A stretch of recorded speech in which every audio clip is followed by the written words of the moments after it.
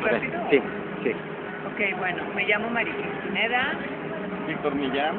y estamos aquí eh, muy interesados en todo el programa que se ha presentado en el Centro de Arte Santa Úrsula. Estamos sorprendidos de la calidad que hemos visto, de las instalaciones y bueno, al margen de nuestro quehacer o de mi quehacer profesional en el ámbito de la danza, eh, José, y he venido a ver las instituciones dancísticas en cuanto a danzar, a ver a hindúes, hemos encontrado propuestas verdaderamente maravillosas, ¿verdad? Y so- sobre todo unas instalaciones de primer nivel.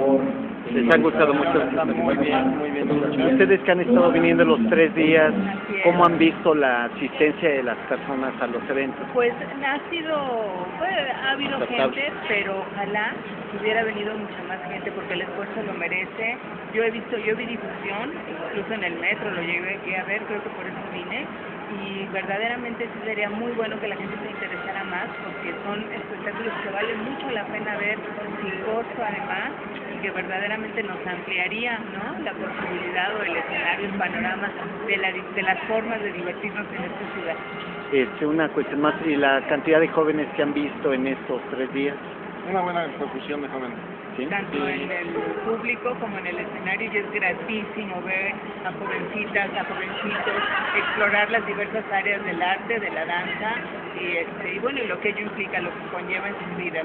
Y sobre todo nuevas propuestas. Nuevas propuestas. Ayer, vimos, por ejemplo, a unos muchachos en Mati Chino. Qué impresionante, qué cosa tan maravillosa. Hoy vimos, por ejemplo, también a la Compañía Mexicana de Danza Folclórica. Qué increíble nivel. De verdad, ¿eh? O sea... Además gratuito.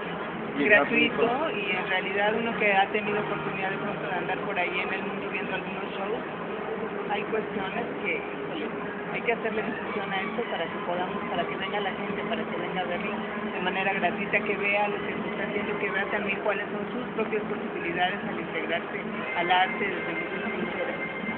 Pues les agradezco mucho. Gracias. Gracias.